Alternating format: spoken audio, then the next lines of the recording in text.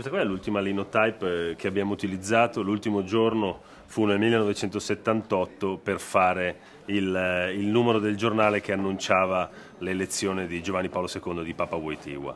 E quella è una delle, delle milioni di pagine, 1.761.000 pagine che abbiamo digitalizzato e che, sono, e che saranno nelle prossime settimane disponibili su internet per tutti, online gratuitamente.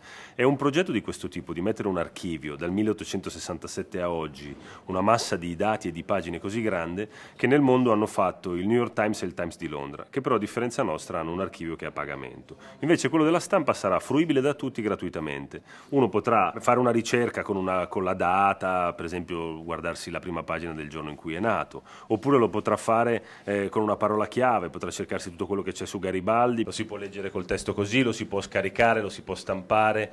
Eh, questo mette insieme l'idea che si possano fare ricerche storiche per gli storici in cui si può navigare in tutte le edizioni in tutti gli allegati, in tutti gli inserti, in tutte le cronache locali, piuttosto che su Petro Mennea o Paolo Rossi, e andare a vedersi tutte le pagine eh, che, che, riguardano quell'avvenimento, quella storia. Potrà stamparsele, potrà leggersele eh, guardando la pagina in originale, oppure potrà cliccare sugli articoli e leggersi gli articoli in formato solo di testo. Ma adesso abbiamo ancora qualche settimana perché stiamo provando anno per anno a fare tutto il collaudo per che, per evitare che poi si parte ci sia qualche buco. Abbiamo ancora 14 anni da collaudare, ma è questione di poche settimane e poi 144 anni della nostra storia sulle pagine della stampa saranno disponibili a tutti. Gratuite.